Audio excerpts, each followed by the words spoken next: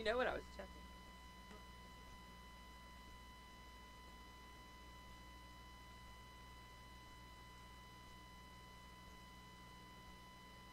Why playing? Keep playing music, Josiah.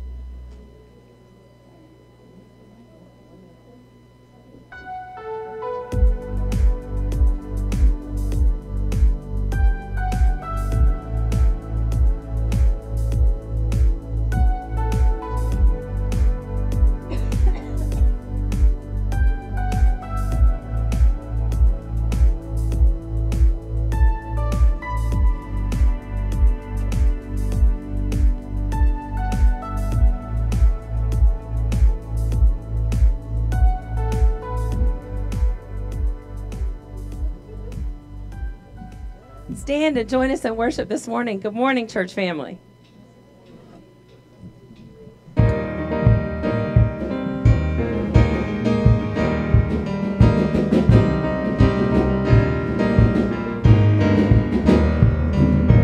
Saturday was silent, surely it was through.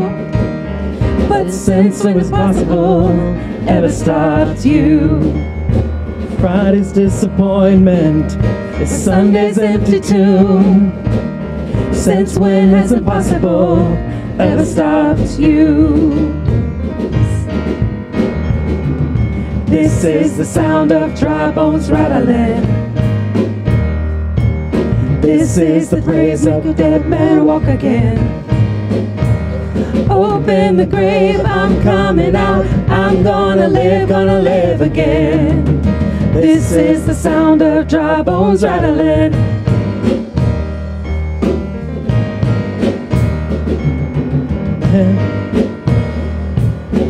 Pentecostal fire, stirring something new.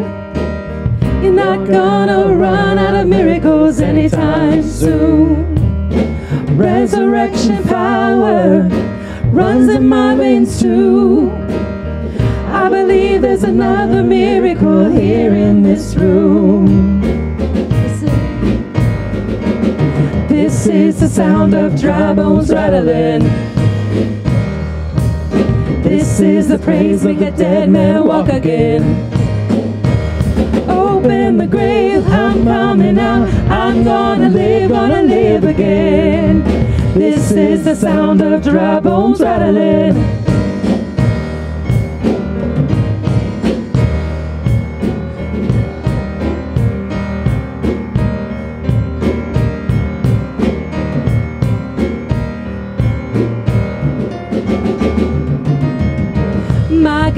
Is able to save and deliver and heal and restore anything that. Just ask the man who was thrown on the bones of Elisha if there's anything that he can do. Just ask the stone that was rolled at the tomb in the garden what happens when God says to move. I feel him moving it now. I feel him doing it now. I feel him doing it, doing it, doing it now.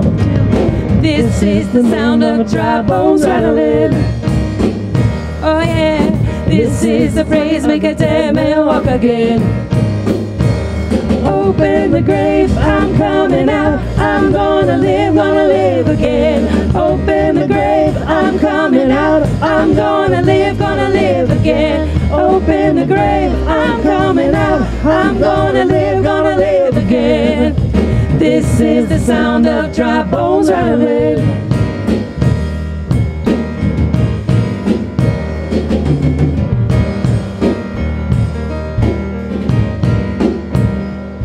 Hear a sound. I hear the sound. I hear the sound. I hear the sound. I hear the sound. I hear the sound. I hear the sound. I hear the sound. Live, Live, live, live, Dry bones hear the word of the Lord. He says, live, live, live, live. Dry bones hear the word of the Lord. He says, live, live, live. live, Dry bones hear the word of the Lord. He says,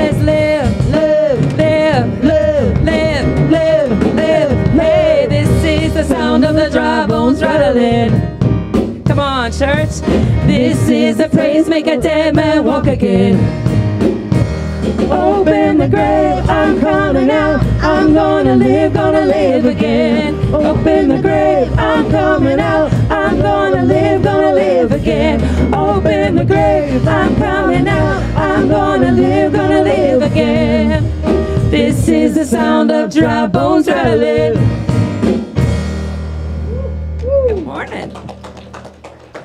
Good morning, church. My name is Michael, and I get to be the pastor here at Shepherd's Community United Methodist Church. Don't sit down just yet. I'm so glad to have you join us here this morning. What I want you to do, take a moment, greet those around you, and pass the peace of Christ. Uh, members of this church, there's a lot of visitors over here. I don't know if you noticed, so maybe travel in that direction, members of Shepherds. Thank you. Hi. Um, no, you have the baptism right after this. Baptism.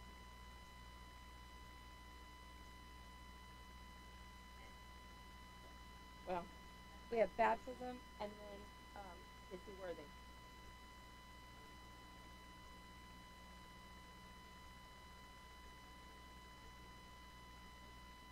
Oh no, where'd it go? Where'd it go? Uh oh.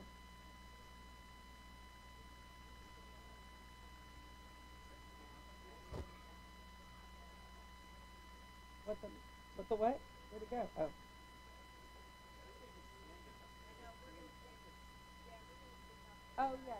Okay.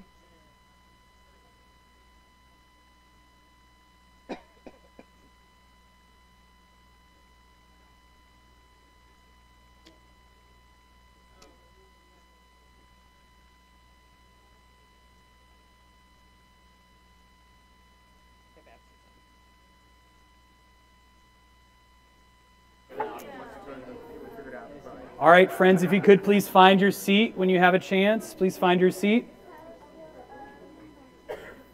This morning, I'm so excited we get to celebrate a baptism. Woo woo! It's so much fun to have baptisms. It's great. It's, um, it's a great opportunity for the pastor to embarrass himself while he tries to hold a kid, uh, which is always fun. Um, and it's also good just to celebrate God's great gift uh, to us.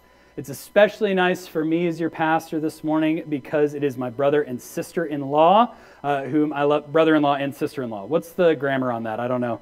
Um, I'm not blood related to any of them, but um, I will take pastor privilege for a second and just say, I'm the reason y'all are here.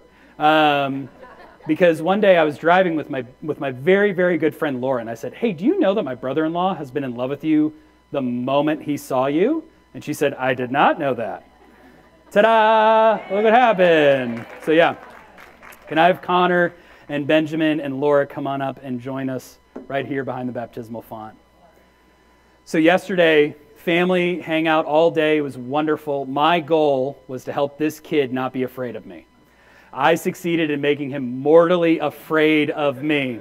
So I'm not going to make eye contact lest I make him scream. Um, look at that look. Y'all know that look. Like, hi, yeah, hi, yeah.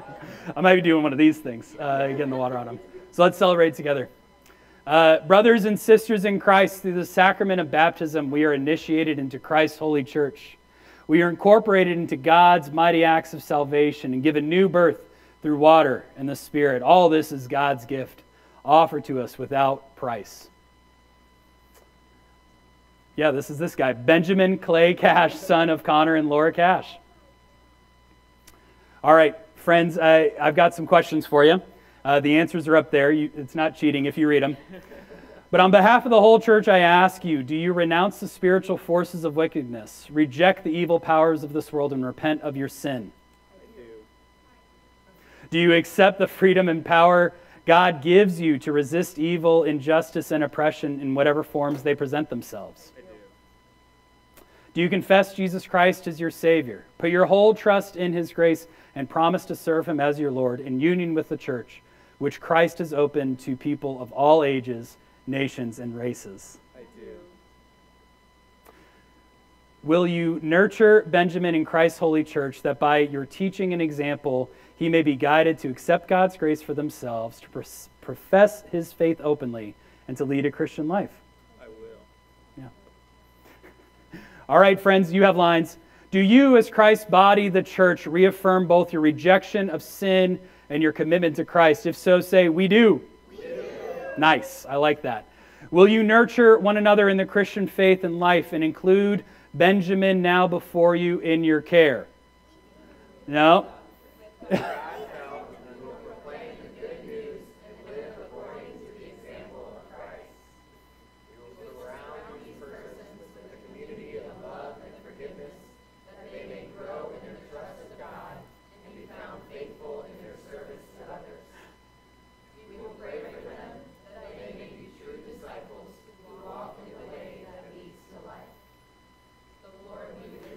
and also with you. Let's pray over this water together. Eternal God, when nothing existed but chaos, you swept through the dark waters and brought forth light. In the days of Noah, you saved your people in the ark through water. After the flood, you set in the clouds a rainbow. When you saw your people as slaves in Egypt, you led them to freedom through the sea their children you brought through the Jordan to the land which you promised. In the fullness of time, you sent Jesus, nurtured in the water of a womb. He was baptized by John and anointed by your Spirit. He called his disciples to share in the baptism of his death and resurrection and to make disciples of all nations. Pour out your Holy Spirit to bless this gift of water and those who receive it to wash away their sin and clothe them in righteousness throughout their lives, that dying and being raised with Christ, they may share in his final victory. All right. You want to try it? Let's do it. And then? What name has been given this child? Benjamin Clay Cash, I baptize you in the name of the Father and of the Son, just one more, and the Holy Spirit. Holy Spirit, work within you that being born by water and the Spirit, you may be a disciple that walks in the way that leads to life. Yay! All right, we have a lullaby to sing to baby Benjamin, and my brother in law Connor gets to walk around the uh, sanctuary with me. And he didn't know that until now. Come on. Benjamin, Benjamin, God claims you. God helps you, protects you, and loves you too. We this day do all agree, a child of God you'll always be. Benjamin, Benjamin, God claims you. God helps you, protects you, and loves you too. Family. Didn't, I didn't even cry, Woo! which is impressive. And he didn't either. Uh, yeah. Let's uh, affirm our faith together with the reciting of the Apostles' Creed. I believe in God the Father Almighty, creator of heaven and earth. I believe in Jesus Christ, his only Son, our Lord, who was conceived by the Holy Spirit, born of the Virgin Mary, suffered under Pontius Pilate, was crucified, died, and was buried. He descended to the dead. On the third day, he rose again. He ascended into heaven, is seated at the right hand of the Father, and will come again to judge the living and the dead. I believe in the Holy Spirit, the holy Catholic Church, the communion of saints, the forgiveness of sins, the resurrection of the body, and the life everlasting. Amen. We, we recite creeds here at this church not just to identify who's in and who's out, far from it. Instead, we recite creeds together because sometimes I need to be reminded of what I believe in and what I'm trying to believe in. Maybe you this morning, you woke up and the alarm went off a little bit too early and you thought, do I believe in God? Do I really want to do this thing? I already said to my sister that I would, you know, something like that. But here we are, and we're all going to try and believe this so that we can change the world around us. Will you stand as we sing together?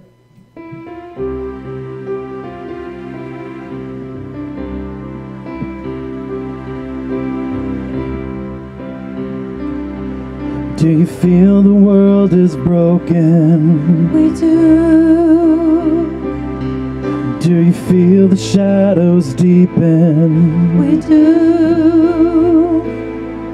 Do you know that all is dark will stop the light from getting through?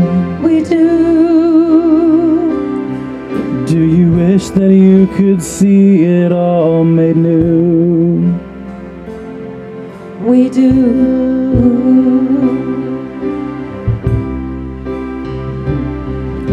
Is all creation groaning? It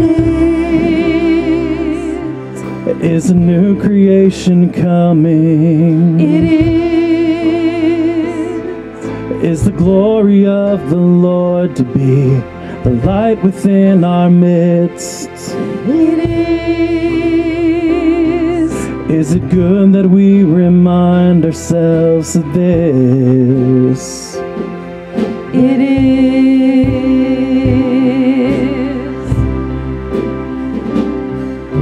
Is anyone worthy? Is anyone whole? Is anyone able to break the seal and open the scroll? The Lion of Judah, conquered the grave. He is David's root and the Lamb who died to ransom the slave. Is he worthy? Is he worthy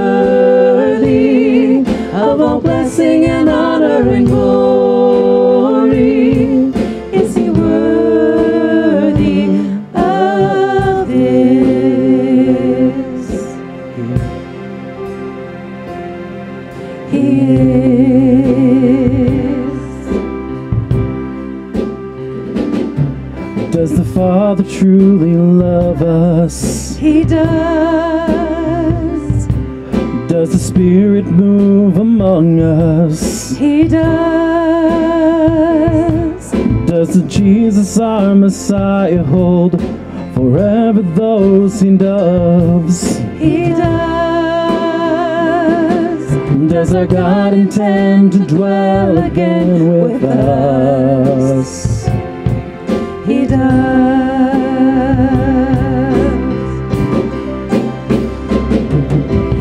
Is anyone worthy? Is anyone whole?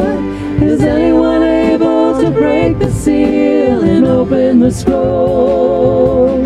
The Lion of Judah, who conquered the grave, is David's root and the Lamb who died to ransom the slave from every people and tribe, nation and tongue. He has made us a kingdom and priests to come to reign with the Son. Is he worthy? Is he worthy of all blessing and honor and glory?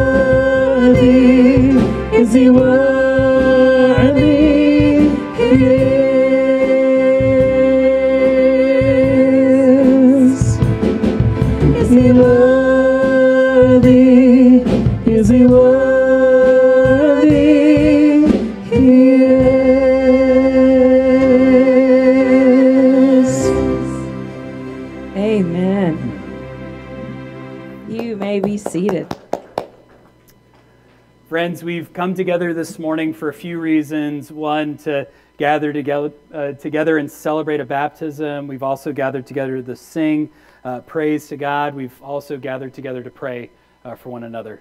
And the way that Michelle's looking at me, I'm worried that I came up early. I didn't. I'm in the right spot. You Yeah, yeah. right look spot. at me. I'm not checking like uh, sports scores or anything. I'm checking the order of worship on my phone. I just want to be clear. I've been watching. I'm also checking sports scores, but mostly, just kidding, no one's playing right now. Um, but we've gathered together to pray. In our lives, we find ourselves uh, busy, overwhelmed, overexerted, asked too much of us. But in worship, we get to get together and have the prayers of the people, where we pause in the busyness of life and we center ourselves. So I encourage you now to put both feet on the ground if that's comfortable for you. Take a deep breath in. Maybe even put your hand over your chest if you want to. Remind yourself that you're a human being, not a human doing. This Sunday, we're also celebrating All Saints Sunday. And so while I pray, I'm also going to share some of the names of the people that we call ours in this community, um, and we'll remember them uh, together. So let's take a deep breath in and out. Let's pray together. Almighty God, uh, in your mercy and in your grace, we come before you today with all the burdens of this week. We lay them at your feet, knowing that we could not handle them on our own. And God, we know that we interact with the divine in such a way that we know that our burdens are light to you and you're happy to take them on. We come before you with all of our hopes and dreams and aspirations and lay them at your feet, knowing that you want to see them fulfilled. God, we know that we serve you, a God that loved us so much that you came and dwelt among us, put on flesh and walked around, felt the joys and the happiness of this life, and felt the sadness and suffering of loss. And on this Sunday, as we welcome little Benjamin into this community, into this faithful witness of your love here in this world, we remember those who have lived a life here on this earth, constantly pointing towards your love. And we remember them, remember them this Sunday. Betty Strickland, Granny. Lisa Spires. George Zivkovich Sr., Reverend James Allen Jefferson, Linda Berg. God, we remember all of these saints and we thank you for their life that they have shared with us. We thank you for the ways that they've encouraged and challenged and pushed us towards your image. We pray all these things in the name of your Son who taught us to pray, saying, Our Father, who art in heaven, hallowed be thy name. Thy kingdom come, thy will be done, on earth as it is in heaven. Give us this day our daily bread, and forgive us our trespasses, as we forgive those who trespass against us. And lead us not into temptation, but deliver us from evil. For thine is the kingdom, and the power, and the glory forever. Amen. Amen. Uh, friends, we've got uh, some wonderful announcements to share with you about things ahead in the life of this church in uh, the season of Advent. Um, in the season of Advent, we really kind of go crazy uh, here at this church. Um, so, um, so, yeah, I'm good. Okay. I'm just, yeah, yeah, I'm worried you're going to tackle me. Um, so, I've got some announcements I want to share with you, uh, and, and you'll see them up on the screen now. Uh, number one, we are participating in the Christmas store uh, this year. If you're from Lakeland, you know about Parker Street Ministries, this wonderful ministry that meets the needs of underserved population in central Lakeland. Uh, what we're going to do is we're going to collect gifts uh, for parents so that kids can then go to the Christmas store and buy their parents gifts that their parents actually want. So no, you know, Christmas ties with Santa fishing uh, no, you know, what, uh, whatever gift you gave your parent that they didn't really want. Uh, so, what we need you to do so we can participate and love our neighborhood well, what we need you to do is to go out, parents, and buy the gift you wish your, your kids would give you, and buy two of them one for yourself and put your kid's name on it, and then a second one and bring them here to this church, okay? We'll leave them in our collection box, and then we'll take them down to Parker Street on December 14th and 15th. And what kids are going to be able to do, they're going to be able to go in and use a nickel, a penny, a dollar to buy, say, a television or an air fryer or a coffee maker and be able to wrap it up and give it to their parents. Um, these kids would not be able to do this. They would be instead, you know, making a drawing or something and putting a bow on that. As someone that's received lots of those, those are awesome. And my air fryer can do anything. So it's a both and. It's a both and sort of thing. And this is how our church is going to love our neighborhood. The next announcement that I have for you is we are also participating in the Rudolph Roundup. We have friends here in our community, participants in the foster care system, their kids that maybe their, their uh, family of origin is not the best, and so they're able to go into a family that loves them and is able, has all the resources they can to take care of them. We want to help them have an amazing Christmas. So these two QR codes here, you want to scan those so you can find their wish list because you don't know what kids want. As someone who does some Christmas shopping for a kid, I can tell you, you don't know what they want. So you want to scan that QR code, find exactly what these kids want, and again, bring them here. It's going to look like the North Pole here on uh, Shepherd Road. Lots of gifts out in the lobby. Uh, our next announcement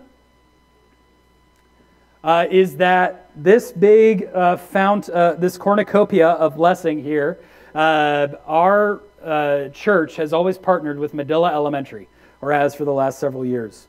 Medulla Elementary is a school just a little bit north of us, um, and we've partnered with them in a myriad of ways. We uh, pay for breakfast for the teachers. We uh, have created a relaxation station for the teachers. And uh, one of the other things that we do is we purchase the turkeys for their turkey trot. How many of you have ever done a turkey trot before? You're like in those strange kind of families that runs a 5K around Thanksgiving? Well, uh, there's a joke there about like stuffing. Like I'm trying to do 5K of stuffing or something. I don't know what it is, but we'll figure it out. Um, but the turkey trot at Medulla is kids run a race and they win a turkey. Horrible uh, prize if you're a second grader. Amazing if you're the parent of a second grader, right? Come home with a free turkey? Absolutely. And so what we're doing is we're collecting all the turkeys. But who wants just turkey? Because turkey isn't good. I listen, controversial opinion, it's not good. Everyone knows it. I'm just brave enough to say it. We call this prophecy in the church, okay? I'm going to speak truth to big turkey. All right? Anyways, so you need the sides, right? Amen? Amen. Y'all still out there? Okay. There's a lot of announcements. Bear with me. Okay. Um, and so we wanted to provide the sides. In fact, our youth ministry wanted to provide the sides. So our second through 12th grade, the tech booth's like, move it along, preacher. Um, uh, we wanted to provide the sides. And so this is just a bunch of sides that you, as the church, but also our youth ministry, has provided. What we need, I think we still have a need, Kyle, to purchase turkeys. If you've got a minute um, and you know a couple of turkeys to float in your bank account, uh, we need some folks to go down to the Publix and purchase two turkeys, save your receipt, and we'll pay you back for it because we raised a bunch of money at our fall fest to pay for these turkeys. Um, but you're limited to two turkeys a person and it doesn't matter how many disguises I use, they catch me every time, okay? Uh, so we need some folks to go purchase turkeys. You can talk to Kyle in the back or Jess, who's waving her hand right now, um, and she can help you uh, get the turkeys for that. So that's what we're doing for Medulla.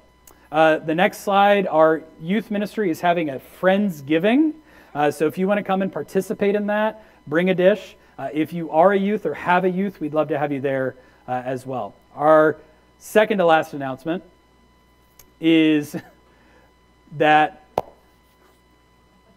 bruh, uh, is our crafting cookbook is happening this year. So, uh, how many of you have a church cookbook at home somewhere? It's like yellowed pages and it has like orange salad recipe in the back. It's just Cool Whip uh, and a can of mandarin oranges. Um, but uh, it's delicious. Um, we're making one, and so scan this QR code and participate in that way uh, it would be better with your recipe in there. Also, crafting, if you crochet, if you knit, uh, we'd love to have your directions in there as well.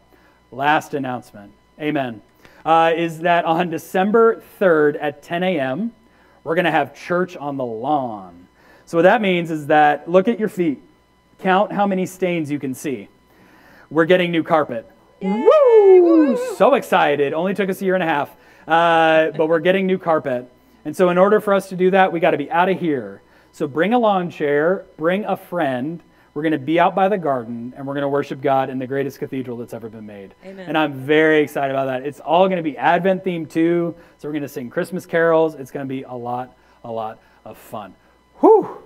That, man, a lot of great. announcements. And he's But all of these announcements are, yeah, I still got to preach. Um, all of these announcements, all of these exciting adventures are made possible because of the generosity of the people here in this room. We are a generous church. We're a church that loves our neighborhood in such a way that we're able to show God's love in a tangible and real way. Uh, in just a moment, the ushers are going to come forward. They're going to pass a plate. Uh, you can put your offering in there. You can also give digitally if you would like. But if you're a visitor, if this is your first time with us, what we'd really love from you is a Connect card. It's either at or near your seat, um, and it says Connect card on it. Uh, if you could fill out that information in any way that we could connect with you, we promise not to spam you, uh, but we'd love to be able to connect uh, with you. If you've been given a little bag, there should also be a Connect card in there. Um, we are a church that loves our neighborhood. And if you want to be a part of loving this neighborhood, we need what you have. And it would be better with you here. So, will the ushers please come forward as we give God's tithes and our gifts and offerings?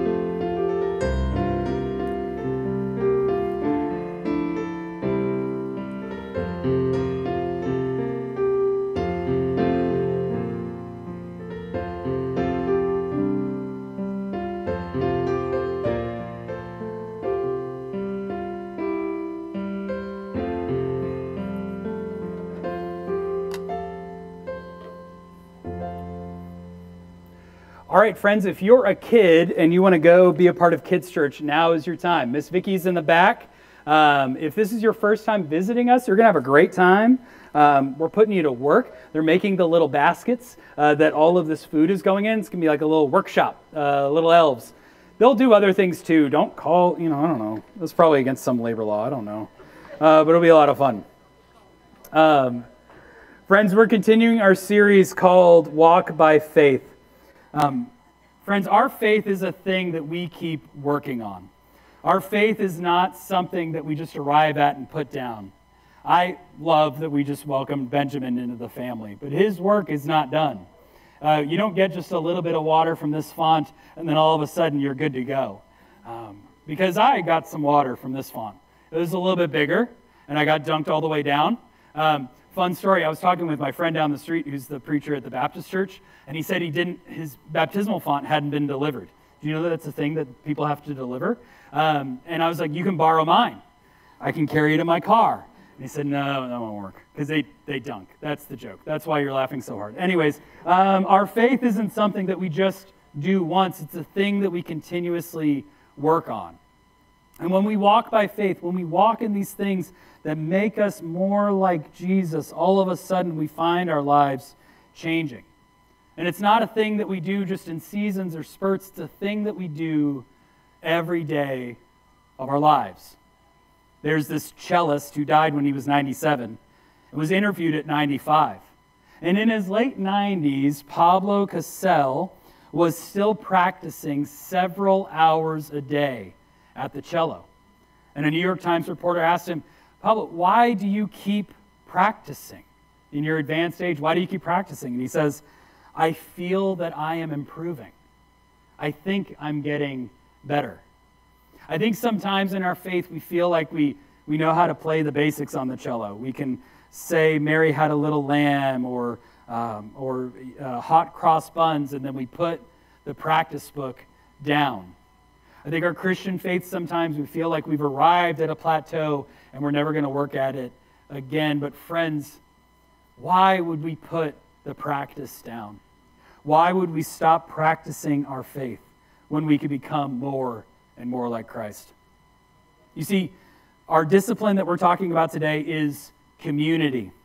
Community is a spiritual discipline. It's a spiritual discipline because sometimes community is not easy. Sometimes community is a lot of work, but it's a work that's worth doing. The thing I'm going to say a lot today, the first thing you can write in your bulletin, if that's your sort of thing, is this There is a work to be done within you that can only be done in community.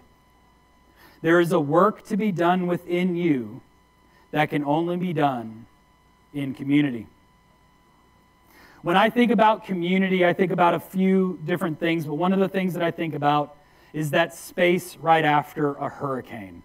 Uh, any Floridians in the room know what I'm talking about? The power's gone out, and so you go outside because it's hot in the house, and for some reason, it's oddly cool outside. You go outside and it looks like a bomb went off. And if you own a chainsaw, you start greasing the, the chain because you're about to go to work, right? You're walking around and you're, you're asking, How do you still have power? And I don't. Um, oh, you did get one of those generators? Dang it, I really should have done that. Yeah. And, and we share, we're out in our community, we're in our front yards. It's something that really takes a category four or higher for us to do in this modern age. And then on the flip side, as someone who grew up uh, in Polk County in, in Lake Wales. When I think about community, I think about everyone knowing our stories. Uh, the thing about uh, being from a small town is that you know everything, and everyone else knows everything too. Um, I see some friends from Lake Wales that know about that. Anyone over there? Yeah. Um, I've heard full on stories about people that I haven't seen for years in Walmart. You know, I can catch up on their whole life because a community that small, you're, you're tight in close, you're doing life near one another. But Christian community needs to be a third thing. It needs to be different than just walking out on your front porch after a hurricane has happened. And it has to be something more than just being in other people's business. It needs to be a third thing. A little bit of both, but something better altogether. Because there is a work to be done within you that can only be done in community. We have a passage today from Hebrews uh, chapter 11 and chapter 12. And a tradition that we have here at this church um, is like all good Methodists, we say, This is the Word of God for us, the people of God. And also, like all good Methodists, we say, Thanks be to God. Like we just opened uh, socks that you'll never wear uh, from your grandmother, right? You need to say thank you, but you can't be happy about it, right? And so what we decided to do is that we're going to say thanks be to God, and then we say that ancient Hebrew word from riding a roller coaster, which is woo. And so if you want to participate in that with us, you can. I just, if you're a visitor, I don't want you to be freaked out that we do this. So uh, hear the word of the Lord from the, from the book of Hebrews. What more can I say? I could run out of time if I told you about Gideon, Barak, Samson, Jephthah, David, Samuel, and the prophets. Through faith, they conquered kingdoms, brought about justice, realized promises, shut the mouth of lions, put out raging fires, escaped from the edge of the sword, found strength in weakness, were mighty in war, and routed foreign armies. Women received back their dead by resurrection. Others were tortured and refused to be released so they could gain a better resurrection. So then, with endurance, let's also run the race that is laid out in front of us. Since we have such a great cloud of witnesses surrounding us, let, let us throw off any extra baggage, get rid of the sin that trips us up, and fix our eyes on Jesus, faith's pioneer and perfecter. He endured the cross, ignoring the shame, for the sake of the joy that was laid out in front of him, and sat down at the right side of God's throne. This is the word of God for us, the people of God. Thanks be to God. Woo! So this passage is, uh, is from the book of Hebrews, which is a sermon. Uh, most scholars think that this is a written down sermon that was shared, more than likely preached by a woman. Uh, that's why we don't see the name uh, in the passage in the book. Um, in just a few chapters before, you hear the Hall of Faith or the Hall of Fame. Uh, these are the who's who of the Bible characters, right? These are the big stories that you've heard, um, the names that uh, they, they retired the jersey, as it were. Uh, if, there's, if there's jerseys in heaven, these are in the rafters, okay? You read chapter 11, chapter 10, you see these men and women that have really done a great job sharing God's love and, and following God's law. And uh, when we see all these stories, we realize that being part of a community means sharing a story with history. That means being a part of a community means sharing a story with history. When we share a story with history, that means that we are not just Christians trying our best. We're not just people trying to be good. We're instead connected to stories that go back to the very beginning. When we look at the history of the faithful who have gone before us, we can see ways that we want to change our lives. When we're tied in, when we're connected to stories of the past, we find that we are not on our own. There's a trend that's been growing. It's not new, but it's growing of being spiritual but not religious. When we're spiritual but not religious, we retain some of the good things of Christian faith. We have that love of the universe, of the Creator working within our lives, but when we're not religious, we lose the stories of those that have gone before us. We miss out on being tied to that history. Now, there are benefits to that. The church does not have a perfect record. Um, the church has made plenty of mistakes, both in ancient history and modern history. There's plenty of reasons to want to tie yourself away from the history of the church. But, friends, when we read this passage, we see that there are so many things that come, so many benefits that come from being tied to the story of a community because there is a work to be done within you that can only be done in community. I think one of the things that happens when we tear ourselves away from the stories of a community is that we get more and more isolated. See, our, our culture, our country is getting more and more isolated, getting lonelier and lonelier. We find people losing those connections, those touchstones that tied them to their neighborhood. We see people losing those things that gave them identity. And we've outsourced the things that make us human. All of us, a lot of us, have either in our pocket or our purse this fantastic rectangle that connects us to everything that ever was or ever will be, right? Uh, we can just open up an app and all of a sudden we were getting an endorphin, a serotonin, uh, you know, all sorts of these wonderful things that we used to only get from sitting and talking to people. Now, I know I might be sounding like um, an old timer. I might be sounding like a Luddite. I get it. I understand. And anyone that follows me on Instagram knows I love scroll, scroll, and then I see this little red heart that tells me that people love me. Uh, I'm a two on the Enneagram. That's what I need in this world, y'all. I need a machine that tells me I'm loved. at every moment of every day, right? And yet, when we outsource it to these, these businesses, these machines, these things that are not other people, we find ourselves lonelier and lonelier. We're getting isolated. We're getting removed from what God actually calls us to. You see, the church must reclaim her place as the safest place for outcasts. The church, for too long, has forgotten that we're the place that outcasts are able to go, that we're the safe place. Too often, the church has been a place that has shown others that they're not welcome, that they are not wanted, that they're not needed. The church needs to reclaim her place of the outcasts. Because the thing is, if you read the Hall of Faith, you read Hebrews 11, you read Hebrews 10, you find a list of people that had incredible faith. You also find a list of, forgive me, kind of losers. You know, they weren't the ones like leading Fortune 500 companies, they weren't on the cover of any magazines. A lot of them got chased down by the authorities and murdered. they weren't well respected and loved in their time, and yet we see that they were safe heard, and loved by the God of the universe. Friends, there is a work to be done within you that can only be done in community. Here's what community can't be community can't be a place that limits who joins, a club that limits who joins. We can't be a place that says, well, uh, you can come, but you can't join up. You, you can show up and maybe give or sing every once in a while, but you can't actually be a part of us because we, we have a list of things that we need uh, from you. Um, there are no dues uh, in the life of the church. If we're going to be a real community that God's called us to, it needs to be a thing where everyone's welcome, right? If this message is for everyone, then where is everyone? We need to open the door wider and wider and wider.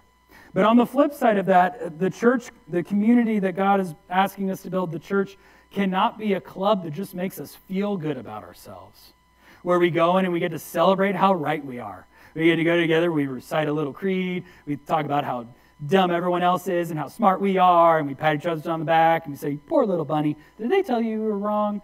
And then, you know, shake us all up and release us into the world. Eh, the world doesn't need another place for that. We already have cable news. We don't need another place that tells us that we're right and everyone else is wrong. The church cannot be that.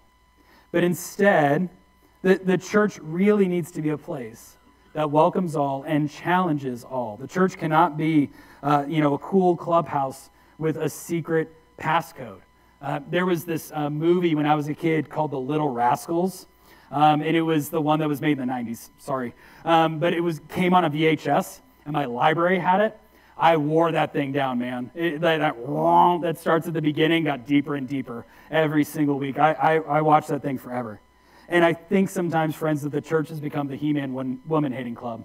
Uh, it has become a place where just boys are allowed or just people are allowed that, that are in, they know the secret password, and, uh, and they're welcome in, and everyone else is not welcome in. I think the church has become that too much. We have to drop our secret passcodes. We have to drop the things that make us feel safe, heard, and loved, and, and exclude the world around us. And the reason why we need to do this is not just because the God of the universe has commanded us to do so, although Pretty good reason, to be fair. It is also because we need what the world, what the people around us have. When we recited the Apostles' Creed, we said that we believe in the Holy Catholic Church. And every time that we do that, I think, I wonder if someone thought they went to the wrong church. Like they like saw the wrong sign and they were like, oh, this looks Methodist, right? Um, this is not a, a Roman Catholic church. But the word Catholic means united. We believe in the Holy United Church, which means that I can't be holy unless y'all are here. I can't be holy unless the whole of the church gathers together. And we take all of our gifts and abilities, our faults, our hangups, and all the good stuff that God can work with. Only then can we become truly holy. When we become a club that identifies who can be in and who, can, and who must be out, we lose all of those gifts friends. We find ourselves less holy than we were before because, friends, there is a work to be done within you that can only be done in community. And ultimately, it has to be a community of faith. It can't be a community based off of ideas or programs or even a denomination. It has to be a community based off of faith. You see, the, this list of believers, this hall of faith, has one thing in common, and that's faith. Hebrews 11:1 says, "Faith is the substance of things hoped for and the evidence of things not seen." Faith is the substance of things hoped for and the evidence of things not yet seen. You see, in a life of faith, you need others to say, I think I believe in that too. And so when we, you know, recite the creed, when we sing together, when we get together on Christmas Eve and light candles and say the light shines into the, into the darkness and the darkness will not overcome it, man, I need someone else to say that too. Because I can't believe it all the time. I watch the news, I read about the atrocities happening in the world around me, in my very own neighborhood, and I stop believing. But then I come here and I hear the kids say the Lord's Prayer. I see people older than me holding up the light, and all of a sudden I believe just a little bit more. You see, because without community, faith gets weak. There is a work to be done within you that can only be done in community. Because our community, our community has work to do to remind people of their dreams. Because at some point, someone told Whitney Houston, girl, you can sing, right? Someone told Dr. Martin Luther King Jr., brother, you can preach. Someone told Elvis that, man, you can dance. Not like that, but you can dance. At least not here, right? And someone told Taylor Swift, you can do whatever it is that you're doing. I guess printing money? Is that what she's doing now? I, I haven't been keeping up. Um, she's dating a, something or other. Anyways, um, it takes a community to show someone that they can do what they believe they might be able to do. It takes a community to look at a little person and say, I think that you're going to do something great. It takes a community to look at someone older and say, I don't think God is done with you. I think there's more yet for you to accomplish. There's more. There's more. Friends, which of your dreams stayed in your head because no one pulled them out? This community's job then is to help dreams get born. This community's job is to help dreams get born because too many dreams have stayed in our heads because no one had a chance to tell us that those dreams were worth bringing into the world. There is a work to be done within you that can only be done in community. And community challenges us. At this point, all I've told you is that community is a great place where everyone's welcome, and you might be Whitney Houston. You don't even know, right? But community is also work. Community is a challenge. You see, wrong ideas can get challenged here in community. I can't tell you how many long suffering Sunday school teachers had to deal with a 16 year old Michael who had everything figured out. I'd roll up to Sunday school, tell them all the ways that they were wrong, and they would politely and gently correct me. Uh, sometimes gently, sometimes just directly, right? Um, but I had it all figured out, and it took people within my church community to tell me that there was another way to see things. Wrong ideas can get challenged. You see, the church needs to remember that we also need to challenge ourselves. I think sometimes the church gets to wander a little bit. We begin challenging people that aren't a part of our community. Well, we've got a lot of work to do within our doors, within our walls, right, friends? And we've got people that we can challenge within ourselves. But ultimately, friends, complacency fails in the presence of a loving community. It is hard to sit on your hands and watch the world go by when you find yourself a part of a loving community. It is hard to think that God is done with you if you're surrounded by people that believe in you.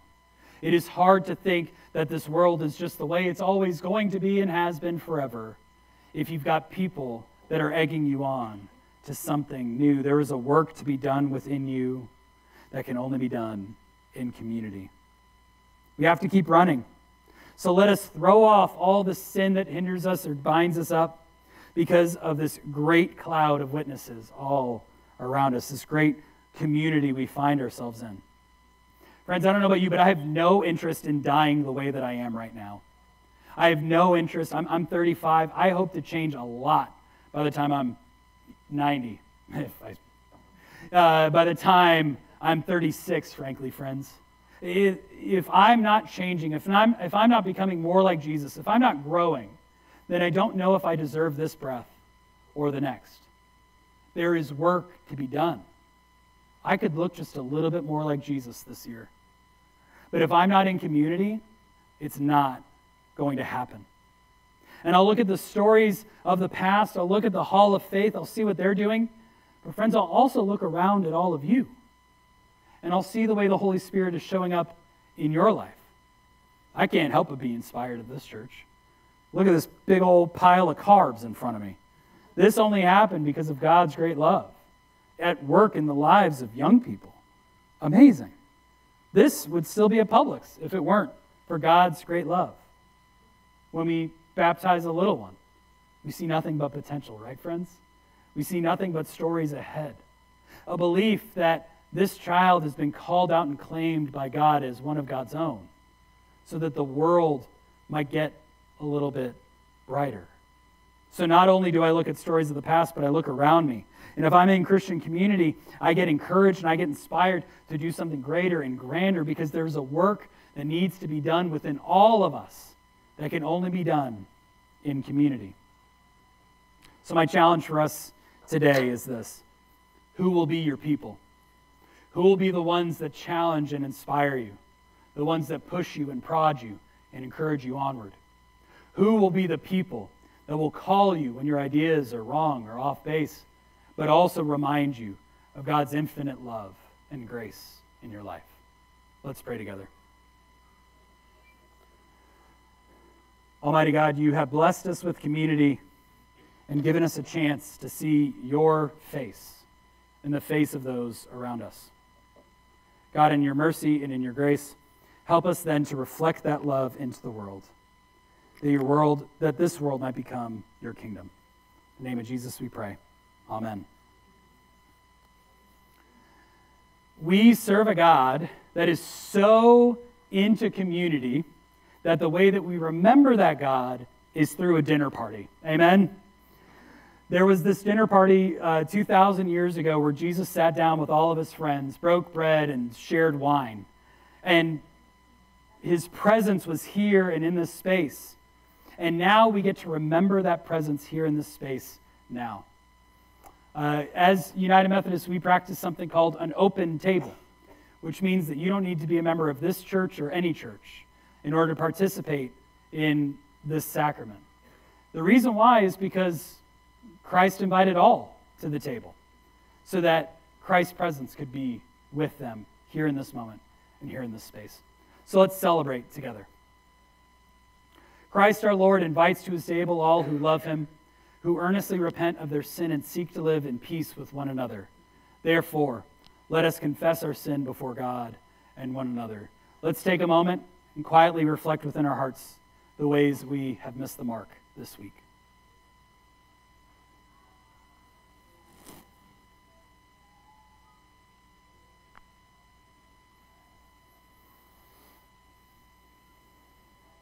Merciful God, we confess that we have not loved you with our whole heart. We have failed to be an obedient church. We have not done your will. We have broken your law. We have rebelled against your love. We have not loved our neighbors, and we have not heard the cry of the needy. Forgive us, we pray. Free us for joyful obedience through Jesus Christ our Lord. Amen. Hear the good news. Christ died for us while we were yet sinners. That proves God's love toward us. In the name of Jesus Christ, you are forgiven. Glory to God. Amen. The Lord be with you. Lift up your hearts. Let us give thanks to the Lord our God. It is right and a good and joyful thing, always and everywhere, to give thanks to you, God Almighty creator of heaven and earth. You formed us in your image and breathed into us the breath of life. When we turned away and our love failed, your love remained steadfast. You delivered us from captivity made covenant to be our sovereign God, and spoke to us through the prophets. And so, with your people on earth and all the company of heaven, we praise your name and join their unending hymn. Holy, holy, holy Lord, God of power and might, heaven and earth are full of your glory. Hosanna in the highest. Blessed is he who comes in the name of the Lord. Hosanna in the highest. Holy are you, and blessed is your Son, Jesus Christ. Your Spirit anointed him to preach good news to the poor, to proclaim release to the captives and recovering of sight to the blind, to set at liberty those who are oppressed, and to announce that the time had come when you would save your people. He healed the sick, fed the hungry, and ate with sinners like me. By the baptism of his suffering, death, and resurrection, you gave birth to your church, delivered us from slavery to sin and death, and made with us a new covenant by water and the Spirit. When the Lord Jesus ascended, he promised to be with us always in the power of your word and Holy Spirit. On the night in which he gave himself up for us, he took bread, broke it, and gave it to his disciples, and said, Take and eat, all of you. This is my body, which is given for you. Do this in remembrance of me. Likewise, when the supper was over, he took the cup, gave thanks to God, gave it to his disciples, and said, Drink from this, all of you. This is my blood poured out for you and for many for the forgiveness of sins. Do this as often as you drink it in remembrance of me.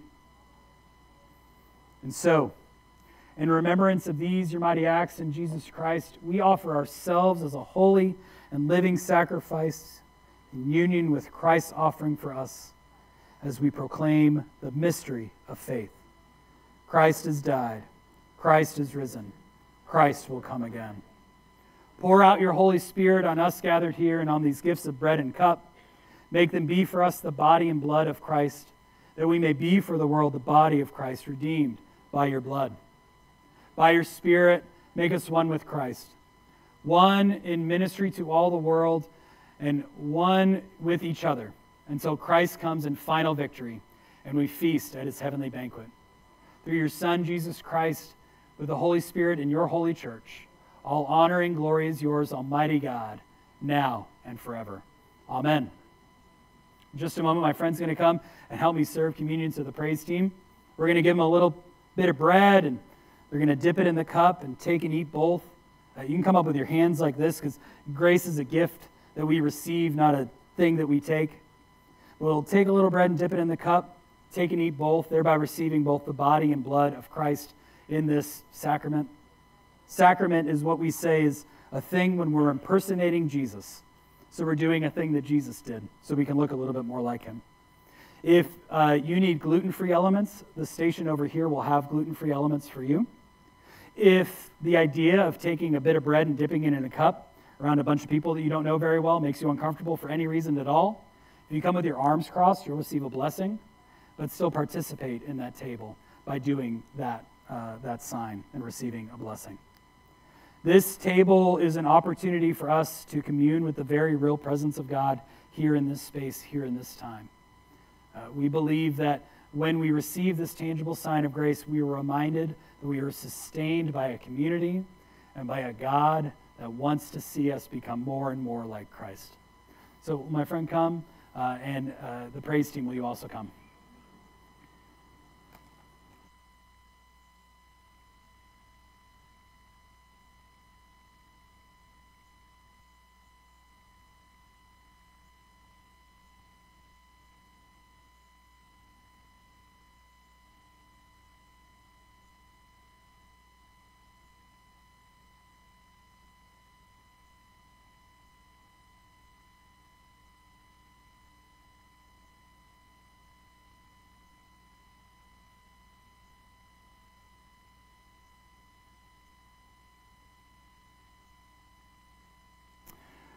Friends, you are welcome to this table. You do not need to be a member of this church or any church. All you need is for a desire to experience God's grace in your life. The table is open. All are welcome. Come taste and see that the Lord is good.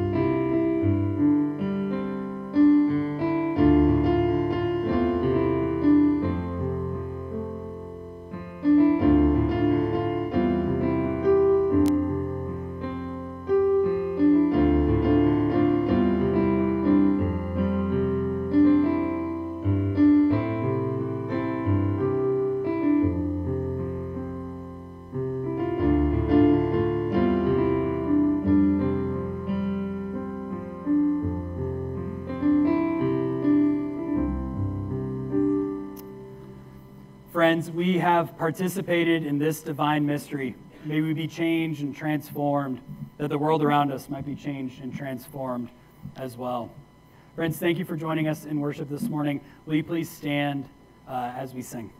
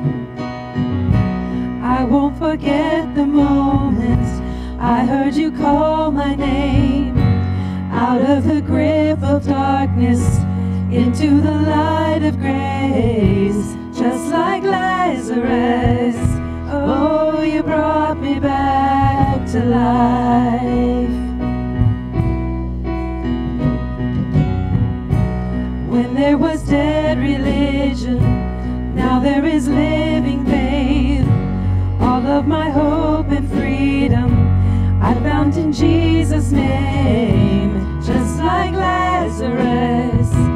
Oh, you brought me back to life.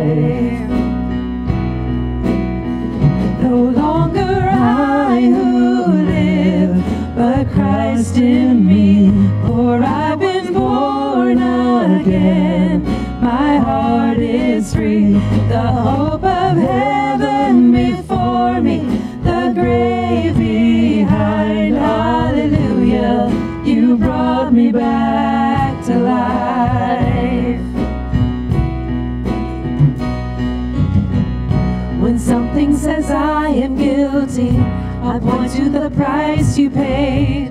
When something says I'm not worthy, I'll point to the empty, empty grave, just like Lazarus. Oh, you brought me back to life.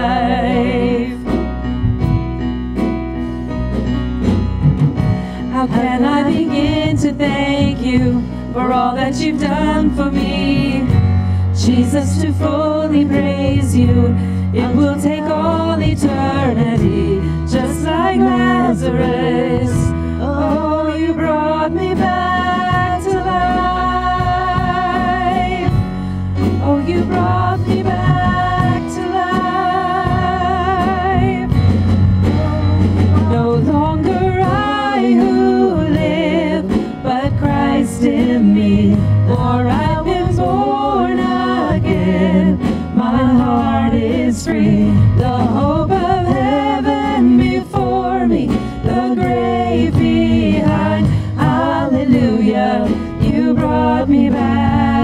back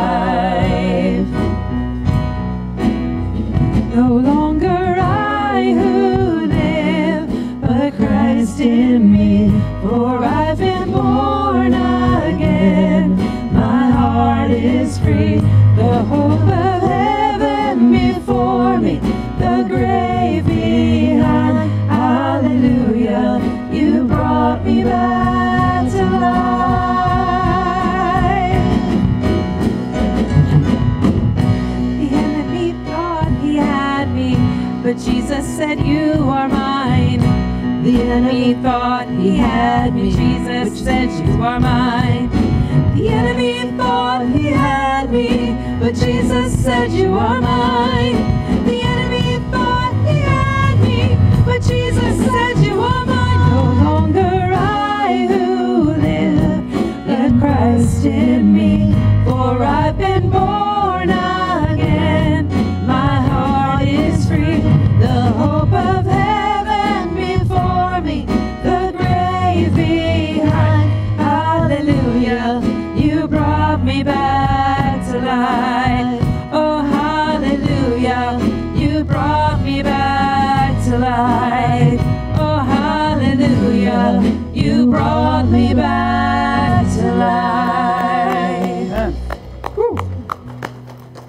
Friends, I want you to take a few things with you. You're going to get a blessing in just a second, which I want you to take with you.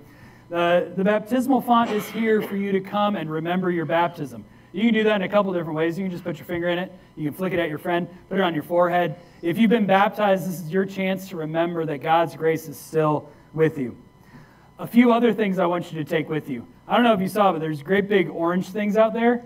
Please take like 12 pumpkins with you. The amount that I want you to take pumpkins cannot be quantified.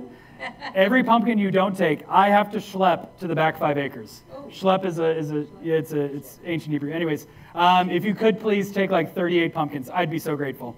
Also, get some scissors, snip some zinnias, which are those flowers.